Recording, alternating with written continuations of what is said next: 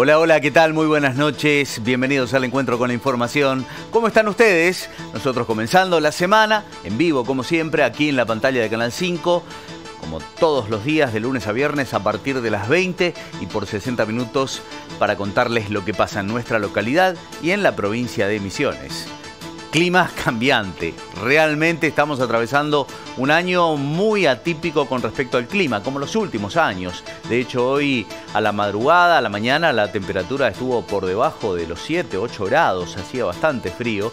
Después un poco se calmó, esto permitió que la gente salga con más tranquilidad. Podemos ver en la avenida que la gente está saliendo a caminar, a hacer sus actividades deportivas, las compras y demás, a pesar del contexto económico que tenemos.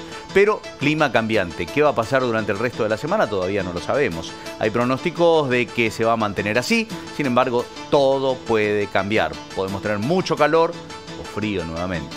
Pero bueno, nosotros estamos aquí dispuestos a compartir toda la información que usted necesita saber en este lunes 28 de agosto. Bienvenidos, póngase cómodo, estos son los títulos del día.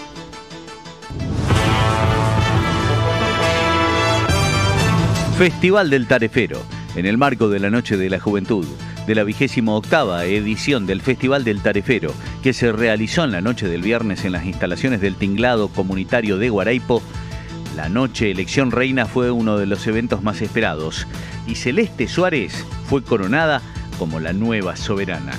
La noche además presentó espectáculos artísticos con distintas actuaciones. Nosotros estuvimos en el lugar y compartimos testimonios de quienes disfrutaron del festival. Niño víctima de bullying, ahora le niegan la inscripción a la escuela.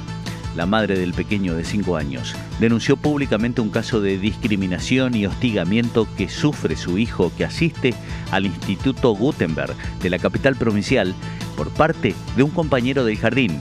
Denunció públicamente la situación y ahora le niegan la reinscripción a la escuela al niño el cual quiere seguir asistiendo a clases. Regresa al Endurance a Caraguataí. La tercera fecha del calendario anual del Endurance Misiones se disputará en el Club Hípico Caraguataí.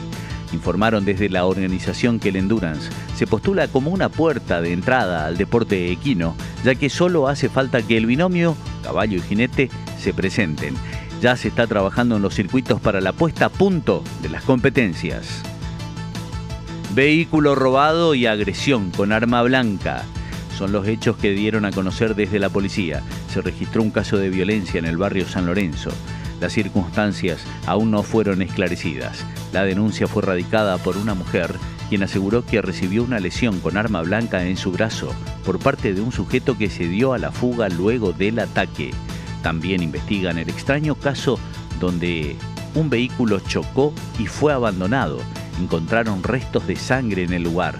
El rodado era robado.